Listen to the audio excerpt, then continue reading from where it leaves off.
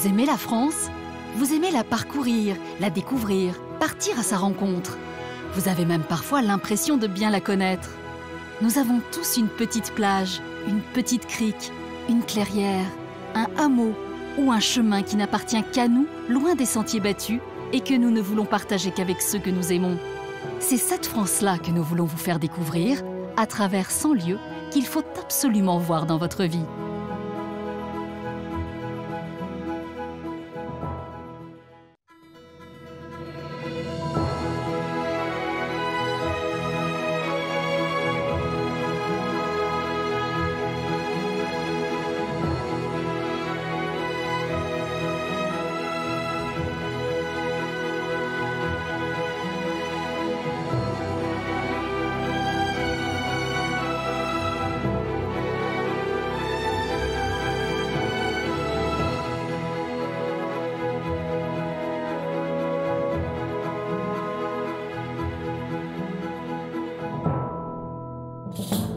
C'est dans la région la plus méridionale de France que nous vous emmenons aujourd'hui.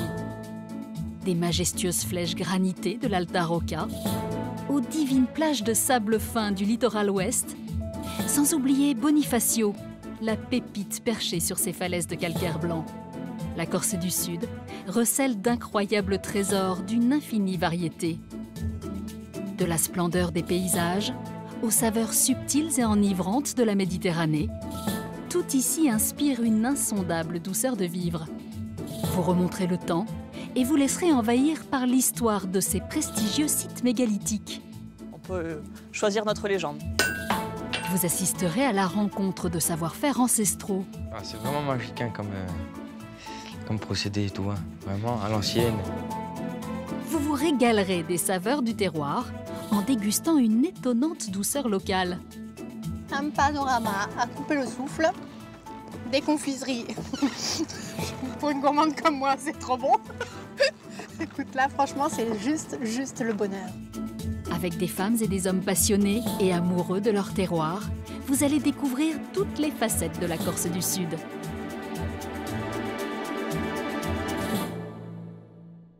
C'est le long du littoral ouest que nous débutons notre voyage. Là où terre et mer se confondent, alternant falaises de granit aux couleurs chatoyantes et sable fin des criques paradisiaques. Aujourd'hui, les tours génoises n'interdisent plus l'entrée sur cette terre de culture et de tradition. Au contraire, elles sont une invitation, un repère pour apprécier les pépites de cette partie de l'île de beauté.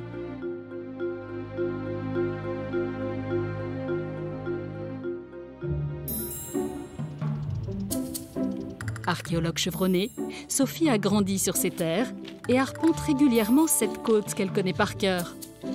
C'est pour partager son émerveillement que cet enfant du pays nous fait découvrir les beautés naturelles de son île. C'est à Girolata que Sophie retrouve Jean-François, le responsable de ce port vraiment pas comme les autres avec un accès limité. Ici, on vient à pied ou par la mer. Bonjour. Ça va? Ça va bien et toi? Oui, bah, ça va bien. En hiver, une quinzaine de personnes seulement profitent de ce havre de paix et de tranquillité. Alors tu vas nous faire découvrir euh, l'histoire de Girolate Bah oui, on montera à Pontfortin pour euh, qui est un des éléments forts du, du village. Depuis toujours, Girolata est une anse à l'abri du vent. Des eaux calmes qui permettent d'accoster facilement. Un lieu de repli stratégique convoité par les pirates. Un site unique sur le littoral qu'il a donc fallu protéger. C'est sur les hauteurs de Girolata, à l'entrée du port, que Jean-François et Sophie nous emmènent.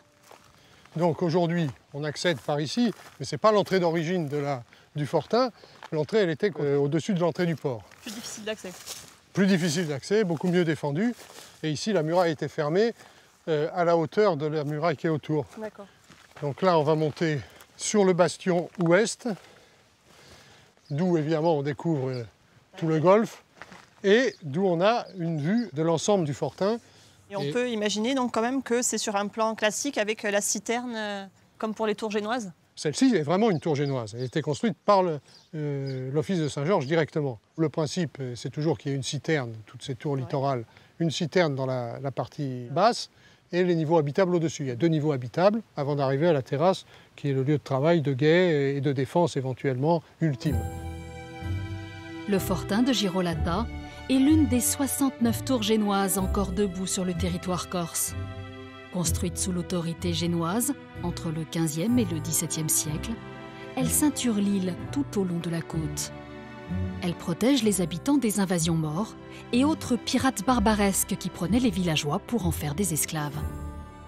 Il fallait absolument maîtriser le seul endroit abrité de la côte entre Calvi et Ajaccio, grosso modo, donc connu de- de- des pirates de, de l'époque. Donc il fallait absolument faire un ouvrage qui empêche les pirates de venir se réfugier dans le port. Car la menace était bien réelle. De nombreux marins, aux intentions diverses, trouvaient refuge à Girolata. Parmi eux, un pirate de triste réputation, le célèbre Barberousse, dont la flotte fut détruite par les forces génoises. Légende ou réalité, difficile de trancher, mais la peur des pirates a provoqué la construction du fortin. Ce fortin, quand même, c'était euh, un lieu de vie. Ah bah, ça a été un lieu de vie euh, permanent pour les gardiens. Au départ, euh, 16e siècle et 17e siècle, c'est des soldats génois qui dépendent directement du gouverneur de Calvi.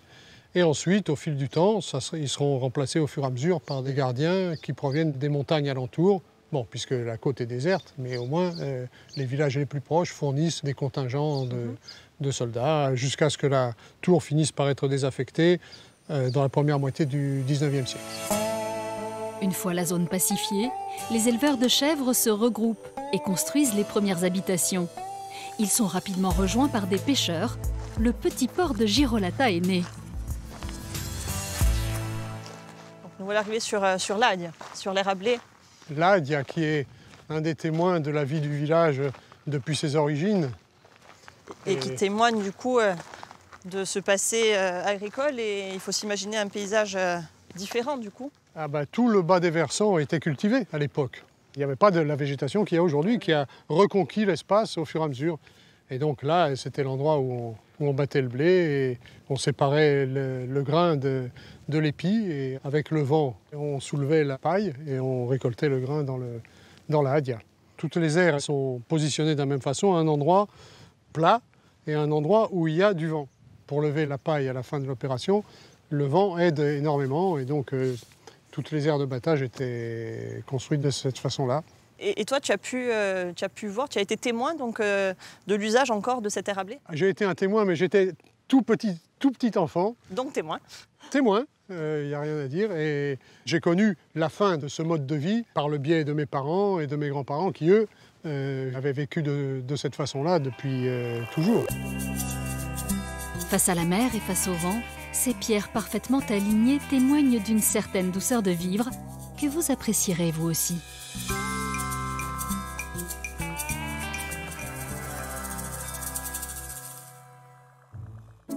Plus au sud, la vallée de l'Ortolo s'enfonce dans les terres. Le bruit des vagues a laissé place à de bien curieux cris.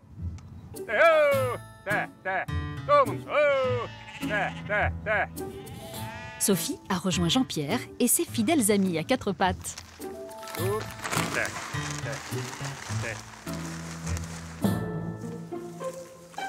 Bon, Jean-Pierre, elles sont belles tes, tes brebis. Elles sont magnifiques. On voit qu'elles ont un, un beau poil. euh, elles ont de belles couleurs aussi. Elles, sont, elles ont de belles couleurs et elles sont très belles parce que c'est des brebis corses. Chauvin Jean-Pierre Non, pas du tout. Il est juste amoureux de son métier et de son terroir. Toute la vallée est cultivée et on peut voir aussi les, les vignes. Et donc c'est un- une alternance entre le- les vignes et le, et le pâturage. Vigne, pâturage. Et puis il y a une partie de parcours avec euh, du maquis où elles piochent un peu euh, des, des- des pointes de cyste, les pointes de, de, d'inules visqueuses qui va parfumer en partie le, le lait et qu'on retrouve dans, dans le fromage, puisque c'est ce qu'on fait principalement, et dans le beurre. Vous avez bien entendu, ici on fait du beurre à partir du lait de brebis. C'est le fameux beurre blanc, une spécialité bien ancrée sur le territoire corse. C'est que le beurre, on le fait que chez nous à peu près en Corse. C'est la, la- seule région dans laquelle on a vraiment maintenu une tradition de, de transformation et aussi une, une habitude de consommation en fait. On, a- on continue à avoir des gens qui nous demandent le beurre en fin de saison. Oui, des amateurs, ça fait Des plaisir. amateurs, euh, exactement. ça fait plaisir de goûter le beurre blanc. On, on l'attend avec impatience. Exactement, toi surtout. J'adore le beurre blanc. Si vous aussi vous aimez les saveurs subtiles, sachez que ce beurre blanc est produit dans des conditions bien particulières. Tradition oblige. On fait le beurre en fin de lactation, dans- en, en ce moment justement, parce qu'on commence à les tarir et qu'on est sur des laits qui sont très gras. Parce que la quantité diminue, ils deviennent très gras. Ils sont un peu plus durs justement à faire en fromage et ils se prêtent euh, complètement à la transformation pour, euh, pour le beurre. Je vais profiter de l'occasion, je- puisque je suis là. Je vais te prendre un peu de lait et je vais rejoindre Gabi à Yenne pour préparer euh, un peu de beurre blanc et me régaler. Ok, on y va. Allez, allons-y. Et Sophie a bien raison. Le lait, c'est essentiel. Mais il reste encore un peu de travail avant la dégustation. Plus loin dans la vallée, Gabrielle, la sœur de Jean-Pierre, est déjà à pied d'œuvre avec Sophie. C'est le lait que je t'ai ramené? C'est ça, le lait qu'on a écrémé. Donc on a séparé la crème du lait. Ensuite, ben, on l'a laissé maturer et là maintenant, on l'a baratté. Donc euh, ça a séparé le beurre du bas beurre. Le d'eau appelé aussi glacée. lait ribot, est ce liquide blanc au goût aigrelet, résultat du barattage. En fait, c'est pour le laver, c'est pour enlever vraiment bien le bas beurre parce que c'est ce qui permet que ça ne rancisse pas en fait. Et en même temps, donc l'eau fraîche modifie la texture. C'est ça, ça permet de le pouvoir le mouler euh, plus rapidement. Ça lui donne une texture plus ferme. On va le saler. Tu mets à peu près combien de sel là Ça, c'est mon petit secret. Ah, tu as raison. Faut pas tout diluer. Ah non, pas tout. hein. On va bien les goûter, bien le presser. Hop là. Qu'il n'y ait plus du tout d'eau, plus de bas beurre. Hop, et après on va le mouler. Tu veux essayer? Bien volontiers. Ah. Tu t'es lavé les mains, c'est bon? Oui, c'est fait. Nickel. Je te mets une motte dans la main. Et en fait, tu essayes de la, La presser, de la presser comme ça. Tu fais sortir bien le bas beurre. ça reste bien. Oui. Je vais prendre une feuille. Et bien une petite motte. euh, Hop là. Parfait. Voilà, pour une première. C'est super. Et voilà, celles-là seront prêtes pour samedi. En attendant de retrouver son beurre favori sur les étals des marchés locaux, Sophie ne peut résister au plaisir d'une dégustation immédiate. Il est délicieux. Il est délicieux. Moi, je me, je me revois bien là, hein, quand j'étais petite, avec euh, cette feuille d'arôme qui enveloppait le beurre. Ouais. C'est c'est vraiment des souvenirs euh, D'enfance. d'enfance, tout à fait. Voilà. À vous maintenant de fabriquer vos propres souvenirs et d'emmener avec vous un petit coin de Corse, à consommer sans modération.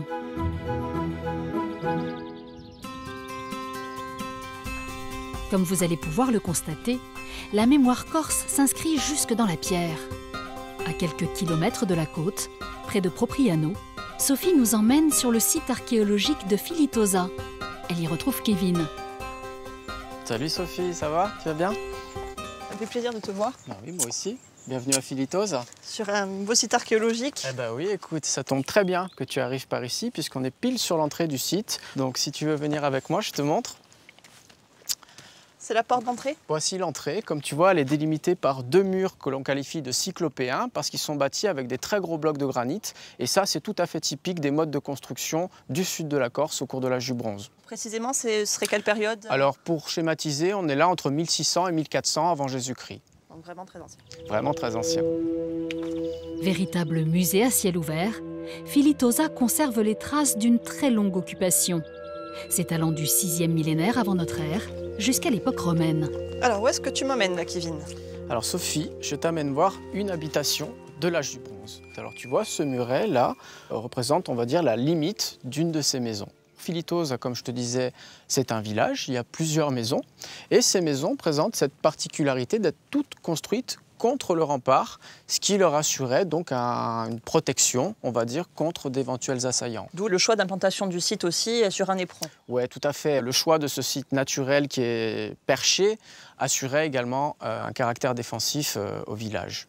Alors ces maisons, euh, il y en a une bonne dizaine, elles sont relativement petites et de, de forme à chaque fois très étriquée. Euh, moi, je m'imagine assez mal vivre dedans, je ne sais pas toi. Écoute, euh, il faut travailler sur l'aménagement des pièces, mais c'est compliqué.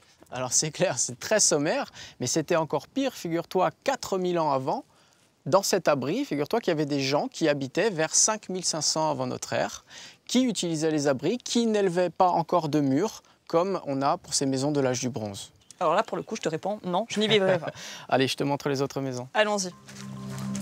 Filitosa gardait jalousement ses trésors et ses mystères, jusqu'à ce jour de 1946, où le propriétaire du terrain bute accidentellement sur l'une des statues, affleurant le sol.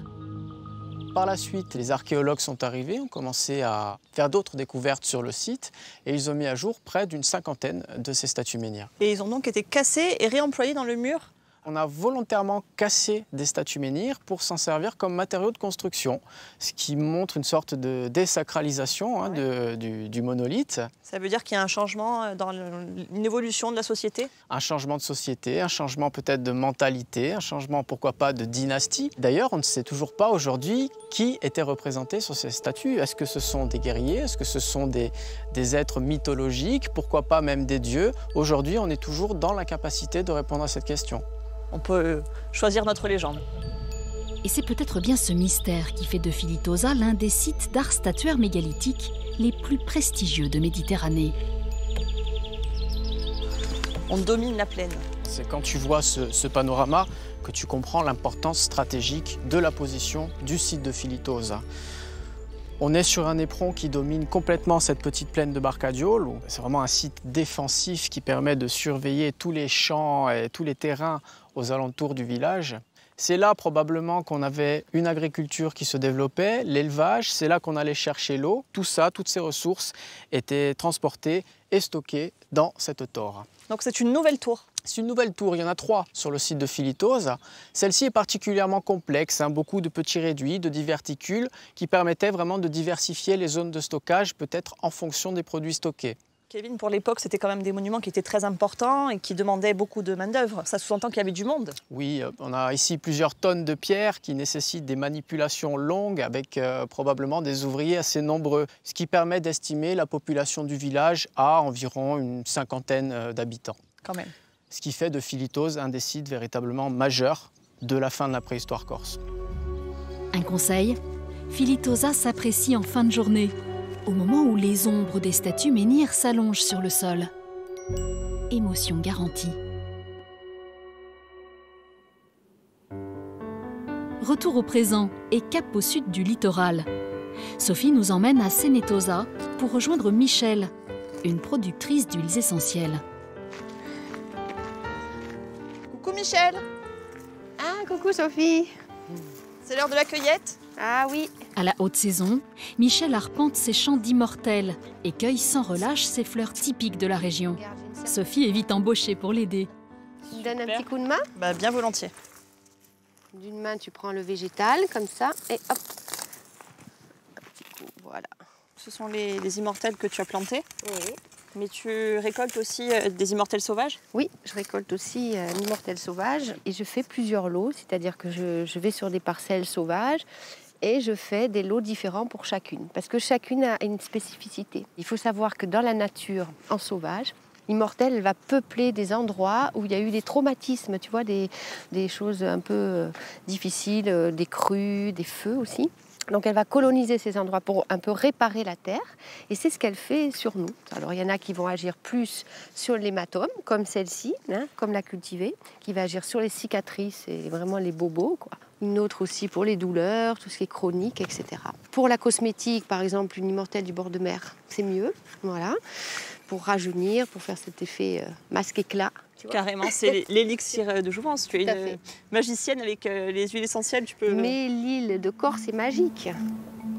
Et cette magie est à voir, à sentir et même à ressentir. C'est magnifique les champs quand on arrive. Il y a vraiment quelque chose de particulier au niveau du terroir, une qualité de lumière, un sol qui est particulier, très siliceux, hein, très granitique, qui fait qu'elle donne le meilleur d'elle-même ici. quoi.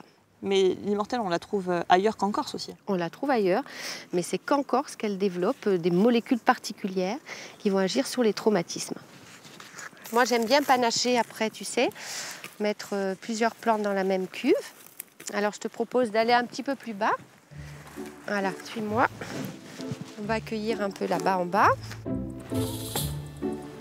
Une fois cueillies, les fleurs sont immédiatement traitées et distillées. Pas une minute à perdre. Il faut Voilà. conserver les arômes et les principes actifs. Comme ça.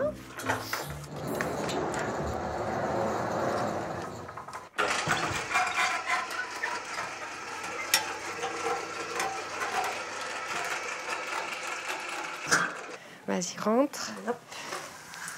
Voilà.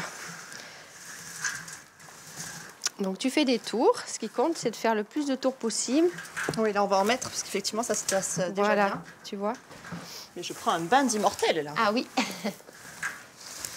Je faisais ça avec la vigne quand j'étais petite, maintenant avec les immortels. c'est vrai. Enfin avec le raisin plutôt. Alors tu vois là, tu fais la danse de l'immortel. La danse de l'immortel. La danse de l'immortel, voilà. C'est tout le travail de toute l'année.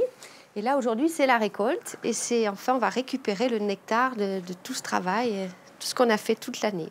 On va fermer le couvercle. On la pose comme ça. Chauffés à 100 degrés dans l'alambic, les immortels libèrent leurs bienfaits et leurs parfums. En fin de distillation, on récupère l'huile essentielle proprement dite et l'eau florale, puis on les sépare par simple gravitation. Je te laisse sentir. Comment tu trouves? C'est hyper concentré, c'est très très fort. Ah Oui, c'est très puissant. Tu as vu toutes les plantes qu'on a mis 100 kilos tout à l'heure pour récupérer juste ça. Réparatrices et parfumées, les immortels renferment à elles seules tous les trésors de la Corse.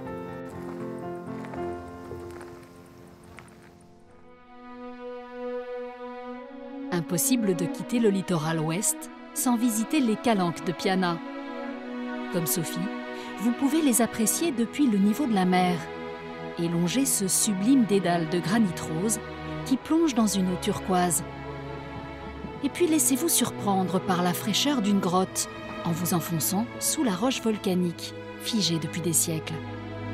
Plus haut, déchiquetée et burinée par l'érosion, les falaises, ou plutôt les calanches de Piana, se font sculpture pour votre plus grand plaisir. Les circuits de randonnée se multiplient au gré de vos envies. Et si vous ne résistez pas à l'appel du bonheur, vous pourrez même aller faire un vœu sous le fameux rocher des amoureux. Que vous soyez sur les eaux méditerranéennes ou sur la terre ferme, ouvrez grand les yeux et laissez-vous envoûter par cette partie de la Corse du Sud. Direction maintenant l'intérieur de l'île, avec les environs de Sartène et la découverte de l'Alta Rocca. Une région de moyenne montagne, avec d'incroyables pitons de granit culminant à plus de 2000 mètres. Nommée la Terre des Seigneurs au Moyen Âge, cette partie de la Corse surprend par sa variété de paysages et une véritable tradition pastorale.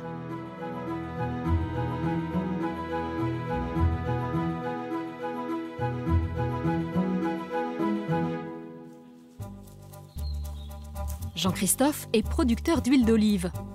Heureux au milieu de ses arbres parfois centenaires, il est aussi un homme de caractère et semble avoir puisé ses forces et ses convictions dans le terroir et la tradition corse. C'est dans la principale ville de l'Alta Rocca qu'il retrouve son ami Paul pour une invitation à remonter le temps. Archéologue et ancien conservateur du musée de la préhistoire, Paul nous emmène à la découverte de Sartène, la plus corse des villes corses, comme aimait à le dire Prosper Mérimée. Nous sommes ici sur la place Porte, qui est un véritable forum. C'est une place qui a été le centre de tous les événements depuis plusieurs siècles, et c'est autour d'elle que se sont articulées toutes les traverses, les rues, les ruelles de cette cité.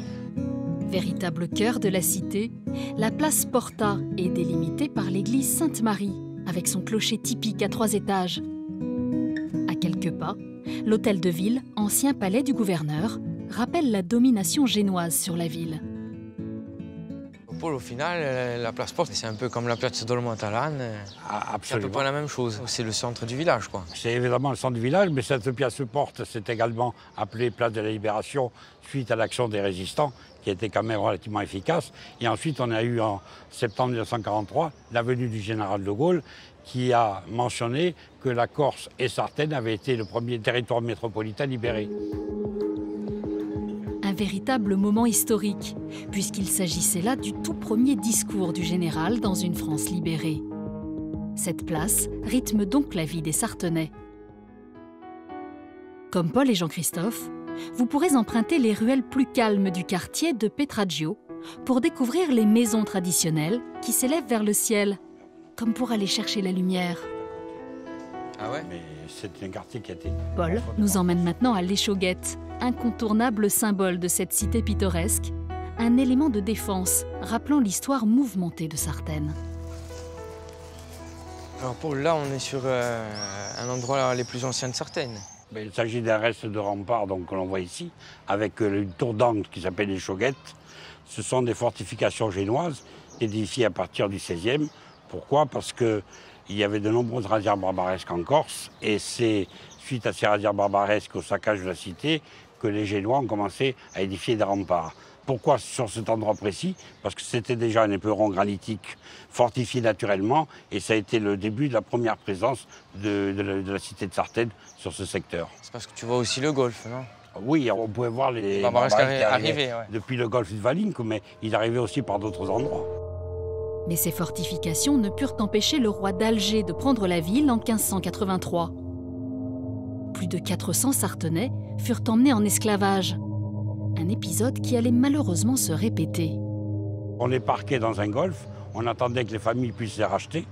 Et quand ils ne pouvaient pas les racheter, ben, au bout de 15 jours, 3 semaines, un mois, elles, elles partaient euh, sur les côtes euh, mauritaniennes, euh, algériennes, tunisiennes. Et on a retrouvé des Sartenais qui ont été rachetés 40 ans plus tard. Mais la plupart ne sont pas revenus, évidemment.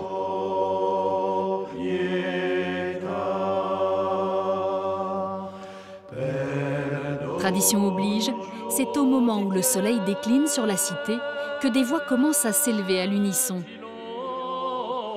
Au couvent Saint-Côme et d'Amiens, Jean-Christophe prend place pour vivre un moment très particulier. Une répétition des hommes du cœur de Sartène.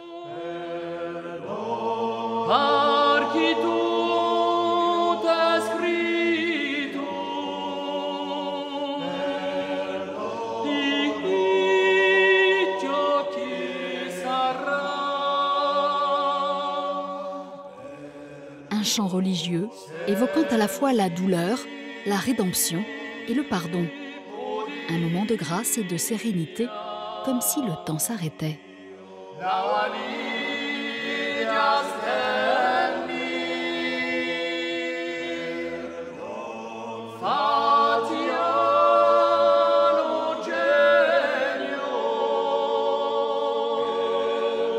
Avec Jean-Christophe, laissez-vous emporter par la force et la beauté des polyphonies.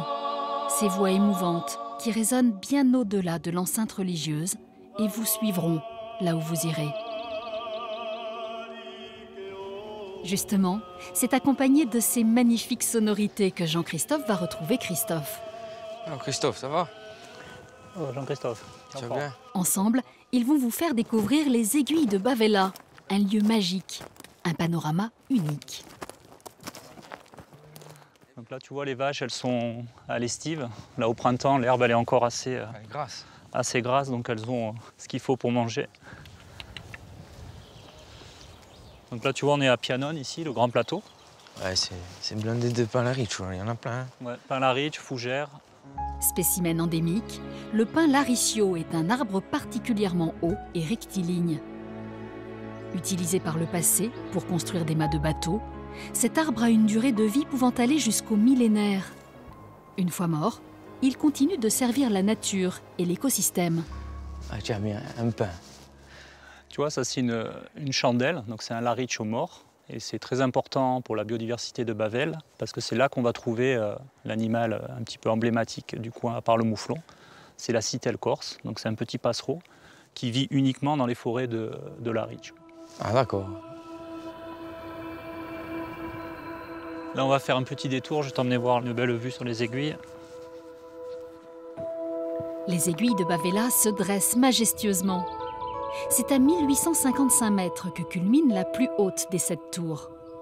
Certains jours, les nuages s'y agrippent comme pour laisser un voile de mystère. Mais par tous les temps, c'est un paysage de toute beauté qui justifie bien les efforts de l'ascension. Ah, même quand tu montes à chaque fois, hein, C'est Moi, c'est hein. majestueux, hein. il n'y a, pas de- y a pas de mots. hein. Tu peux pas t'en lasser. Je m'en lasse pas. Allez, on y va. Ici, tout paraît irréel. Et dans ce lieu hors du commun, vous pourriez bien en vouloir encore un peu plus. Souhaitez par exemple une improbable rencontre avec un animal mythique qui fait la fierté et la spécificité de Bavella. Là, on arrive à un endroit où, où souvent les, on les voit. Là, tu vois, là, il y a quelques, quelques crottes de mouflons. Ouais, ça ressemble un peu à la brumpie ou la Ouais, chair. hein. Exactement, hein, c'est la même, la même famille. Généralement, c'est bon signe. On va aller voir euh, juste derrière. Souvent, non. souvent, on en voit ici, donc. euh,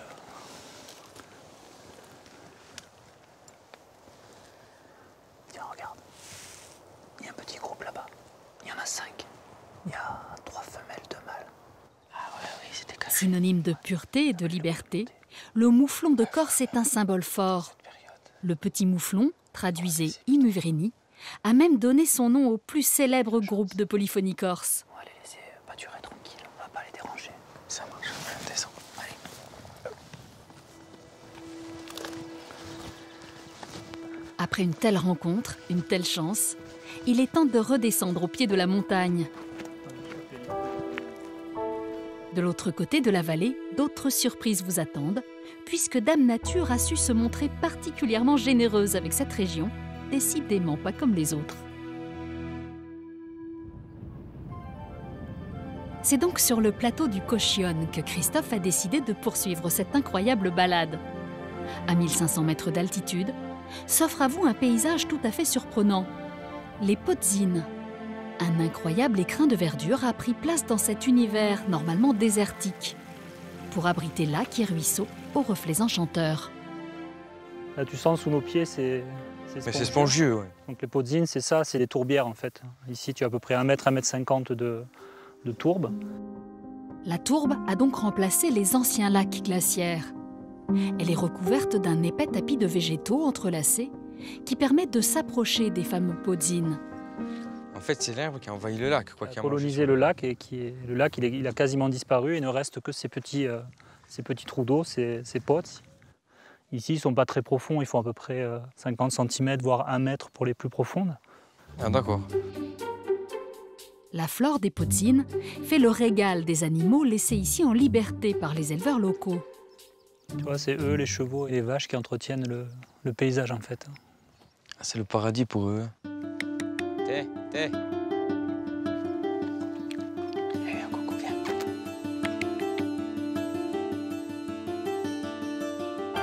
Franchement, c'est magique. Hein. Plus on va attendre, plus la lumière elle va être belle. On pourrait presque attendre le, Le coucher de soleil. ouais, le coucher du soleil, mais Une fois sur place, oubliez le temps et laissez-vous envahir par la douceur et la poésie de ce lieu unique.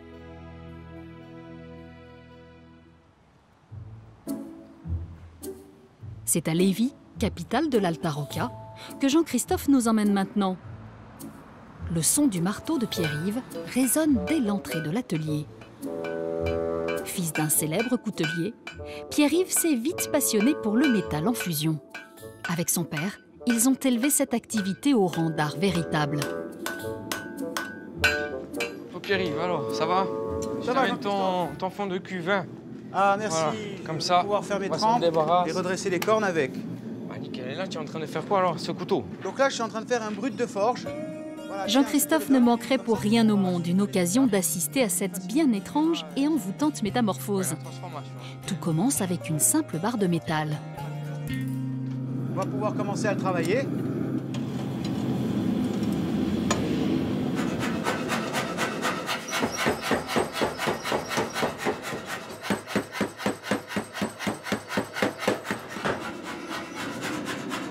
Pierre-Yves va donc étirer, tordre, redresser, effiler, faisant teinter le marteau sur l'enclume pour mieux dompter le métal rougi par la forge. Cette partie-là, la plus longue, ça sera la lame. Ok. Je vais l'étirer, puis je vais forger une lame. Et la partie où il y a le moins de matière, on va étirer un fleuret, on va faire un nœud et on va écraser. Donc ça sera l'arrière. On est parti.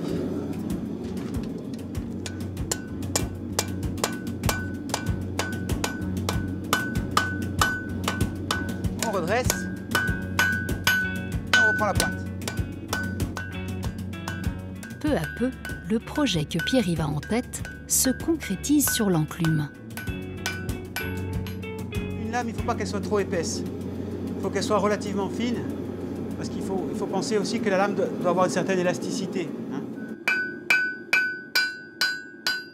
Pourquoi tu vas taper sur l'arrondi de la- de l'enclume au lieu de taper sur le plat en fait? Comme c'est rond, mais ça pousse la matière. C'est comme ça que je vais pouvoir écraser ma matière. À ce moment-là, je reprends sur le plat pour enlever les impacts de marteau et les impacts de bigorne. Mais tu vas lisser en fait. Voilà, je vais lisser, je vais avoir deux parties bien planes.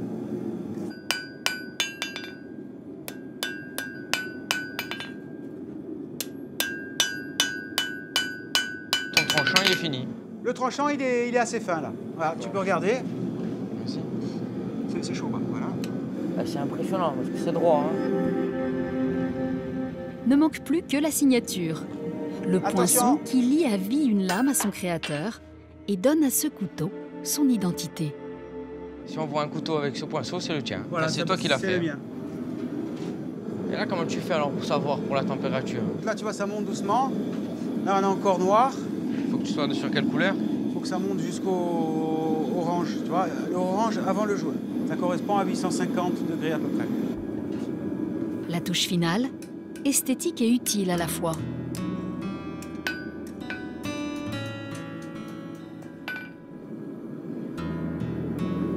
Ce dernier bain est fait d'huile d'olive, produite par Jean-Christophe. Idéal selon Pierre-Yves pour figer à jamais le travail de l'artiste. Donc là, c'est stable, hein, tu vois? C'est bien Ah ouais, réglé. il bouge pas, bouge hein, pas. Et à votre avis, de quoi parlent deux artisans corses épris de leur métier quand ils se rencontrent Eh bien de leur passion pour la tradition? Ah, C'est vraiment magique hein, comme, euh, comme procédé et tout. hein. Vraiment, à l'ancienne. J'ai toujours autant de plaisir. Ça change sur chaque couteau, les couleurs, la flamme. C'est un peu de l'alchimie, on va dire. Hein et ça fait rêver.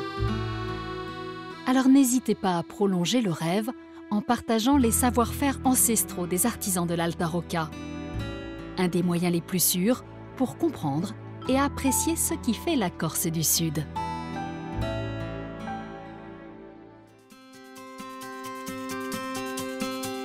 Cap vers la partie la plus méridionale de l'île. La région du Fréto se termine en un plateau de calcaire d'un blanc lumineux, comme un balcon sur la mer. Sous la chaleur intense, la Méditerranée prend toutes les nuances de bleu. Les parfums du maquis corse s'intensifient. Et la cité la plus au sud du territoire français porte fièrement l'empreinte de son histoire génoise.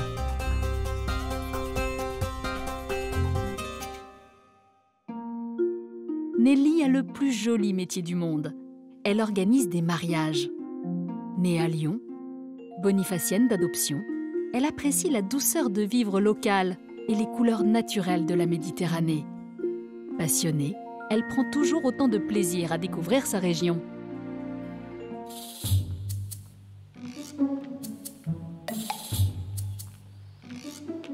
C'est justement sur une petite place de la ville haute dominant Bonifacio que Nelly rejoint Pierre. Ensemble, ils vont vous faire découvrir les beautés de cette cité envoûtante. La visite commence par l'ancienne place du marché, un lieu chargé d'histoire d'où l'on peut apercevoir toute l'anse de Bonifacio. Je veux vraiment que tu comprennes combien Bonifacio a été construit à un endroit stratégique. D'accord. Je ne sais pas si tu te rends compte, on est à peu près à 60 mètres d'altitude. Et au plus haut, c'est où tu vois la tour blanche, le sémaphore, juste là-bas. Oui. On est à 110 mètres d'altitude. Tu te mets à la place des envahisseurs qui viennent, qui arrivent, et donc le commandant dit Bon, les gars, vous avez du courage, allez, ben, il faut monter là-haut. J'aurais pas aimé être à leur place. Pourquoi Bonifacio ici? Bon, c'est sûr que le, le site est formidable, mais on est surtout en face de la Sardaigne et on contrôle le détroit qui est le raccourci entre l'Italie et l'Espagne. Celui qui est ici contrôle tout le commerce international de l'époque. Effectivement, la Sardaigne, souvent cachée par les brumes de chaleur, se trouve à moins d'une heure de bateau. Qui c'est qui a créé la ville alors On a une petite histoire sympa, euh, un comte Boniface II qui serait venu de Toscane Ouais. pour faire un petit château. C'est lui qui a donné le nom à la ville alors On n'a pas de preuves. Mais effectivement, Boniface, Bonifacio, ça fonctionne. Qu'il soit ou non à l'origine du nom de la ville, Boniface de Toscane, seigneur italien, va surtout fortifier la cité. Dès lors, troupes sarrasines, pisanes et vénitiennes s'affronteront pendant plusieurs siècles. Bonifacio faisant l'objet d'une incroyable convoitise. Alors, à Bonifacio, on est en Corse ou on n'est pas en Corse? Ah, On a un pied d'un côté, un pied de l'autre, on ne sait pas. Alors, si tu veux, on va La position côté, stratégique de ça. Bonifacio explique en grande partie l'intérêt que la cité pouvait représenter. Appartenant au Saint-Siège, la ville va alors dépendre de l'autorité génoise dès le XIIe siècle. Je t'amène ici à la porte de Gênes, qui est la seule porte d'entrée du temps des Génois. Et est-ce que tu te rappelles des 400 familles qui sont venues à Bonifacio? Oui. Attends, attends, arrête-toi. Parce que ici, tu as Gênes, et là, tu es à l'étranger. D'accord. C'est Même pas mal, hein Ces 400 familles génoises qui sont venues de Gênes ont poussé tout le monde dehors et se sont accaparés la citadelle. Ce qui fait que tu as deux univers différents, la citadelle et le port. D'accord. Ces deux parties ont des, des surnoms différents selon qu'on habite en ville ou sur le port. Comment on les appelle? Ou un goffet ou un marinage. Ah, Qu'est-ce que ça veut dire? Euh, marinage, il tu te mettes du point de vue des, des gens de la haute société qui sont snobs et qui voient des paysans. Ils les surnomment les sales habitants de la marina. Ah. Marinage en italien. Et Goffet C'est l'inverse. Des gens très simples au port qui voient des gens hautains, méprisants. Alors ils, ils les surnomment les laiderons de la haute ville. Goffetti en italien. C'était il y avait une bonne ambiance quoi. C'est oui, c'est assez électrique à l'époque. hein. Un climat propice à de nombreuses facéties guerrières qui jalonnent l'histoire de Bonifacio. À flanc de falaise, un escalier vertigineux de 187 marches est là pour le rappeler. Selon la légende, le roi d'Aragon Alphonse V aurait fait construire cet édifice en une seule nuit de 1420 afin d'envahir la cité.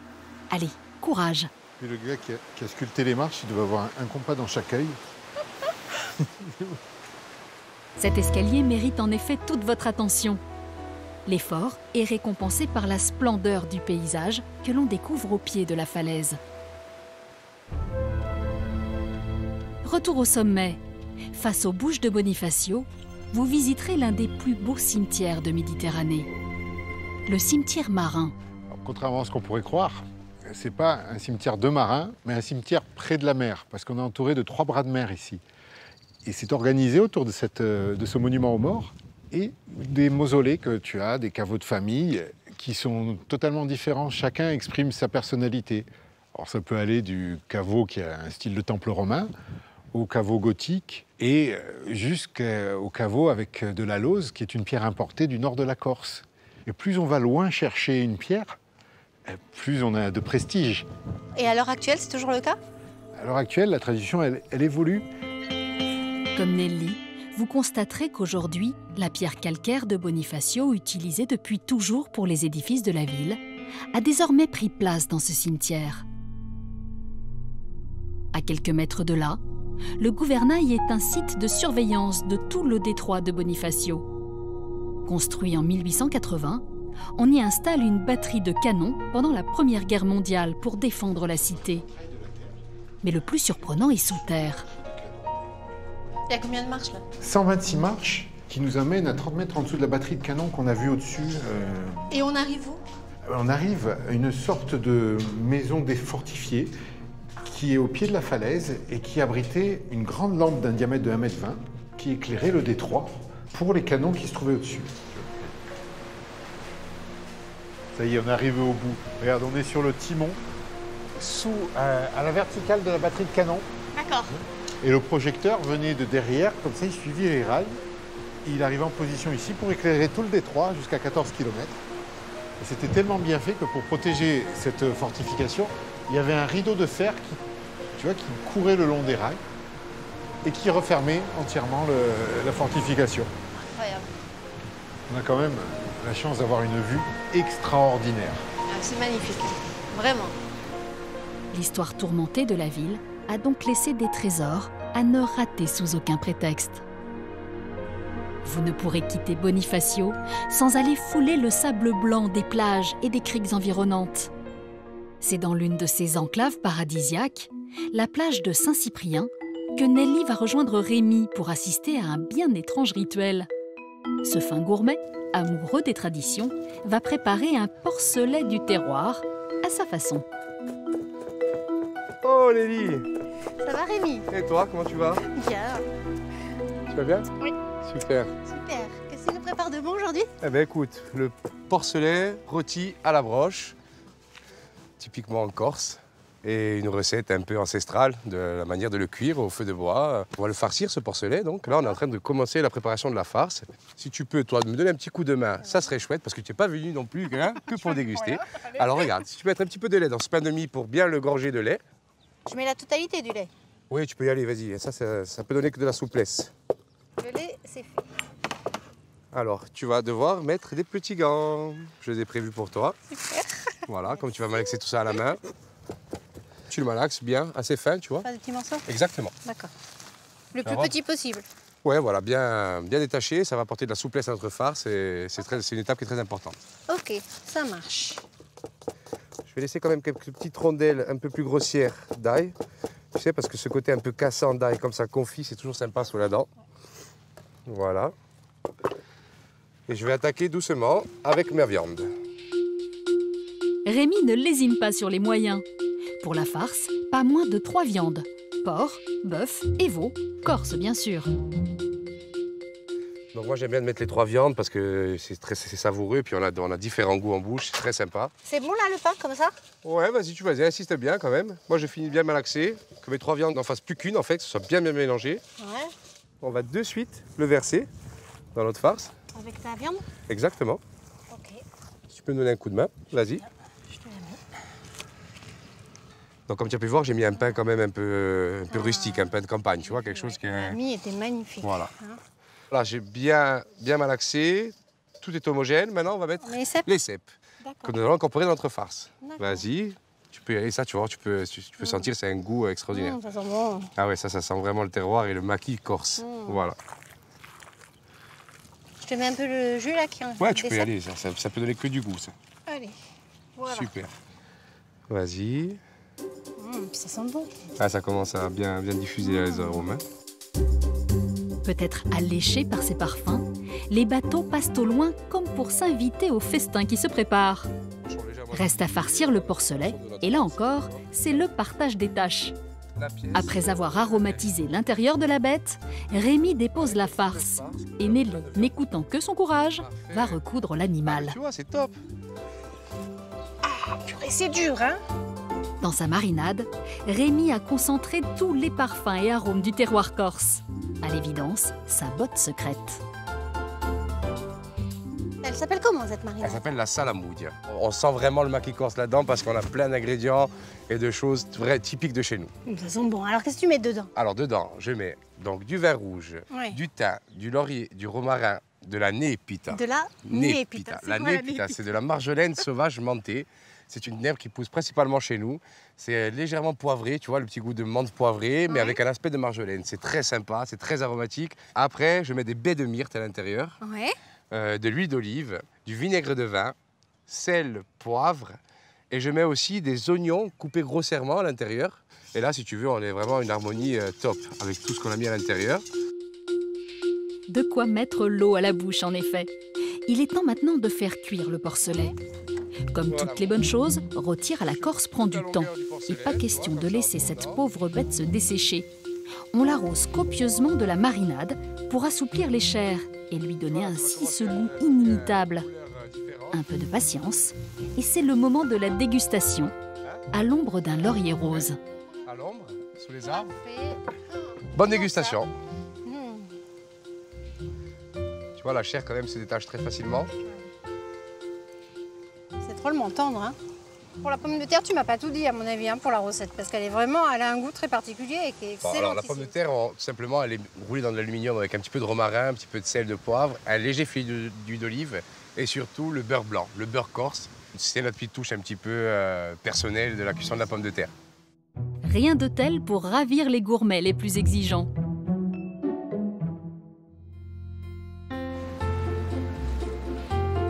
Avec son ami François, Nelly prend le large et part pour une jolie promenade en bateau. Un moment privilégié pour découvrir autrement la cité bonifacienne et pour profiter de la douceur de l'air. C'est incroyable. cet endroit. Ça vaut vraiment le coup quand même de découvrir Bonifacio par la mer. hein. C'est une autre vision euh, de la ville et euh, c'est quand même un endroit magique. J'avais envie de manger une petite douceur, alors je t'ai amené quelque chose. Le pain des morts. Un pain typiquement bonifacien que l'on servait traditionnellement le 2 novembre pour la fête des morts. Je les mets au four et après je me fais une salade de pain des morts et tomes corse. Aujourd'hui, on le consomme toute l'année et la recette reste inchangée. Un tiers de noix, un tiers de raisin sec et un tiers de beurre. Une règle qui semble être la clé de la réussite. Tiens, je te laisse goûter Oui. Hum, Quel délice. Ouais. hein. Nelly, tu vas finir cordon bleu. Mais François a lui aussi une surprise, encore une spécialité bonifacienne. Moi, je t'ai emmené autre chose. C'est une confiserie que, que je fabrique moi-même, Oui. à base d'amandes, de l'orange confite, des citrons confits que je fais moi-même. Et il y a aussi du miel que j'achète à Bonifacio, un peu de sucre, un peu de farine, euh, des, quelques épices. Bon, goûtons ça alors. Hein. Oh, dis donc. Ah oui. Et puis c'est beau avec la petite branche de corail comme ça dessus. Mmh. Oui, c'est très très agréable en goût. hein. J'en laisse pas. Écoute François, je trouve qu'on est définitivement au paradis ici. Un panorama à couper le souffle, des confiseries. Pour une gourmande comme moi, c'est trop bon. Écoute là, franchement, c'est juste, juste le bonheur. Un bonheur n'arrivant jamais seul, on coupe les moteurs. La brise méditerranéenne gonfle cette magnifique voile latine. Comme Nelly, vous pourrez longer la côte du golfe de Bonifacio et naviguer au gré de vos envies. Alors bon vent et cap vers le plaisir.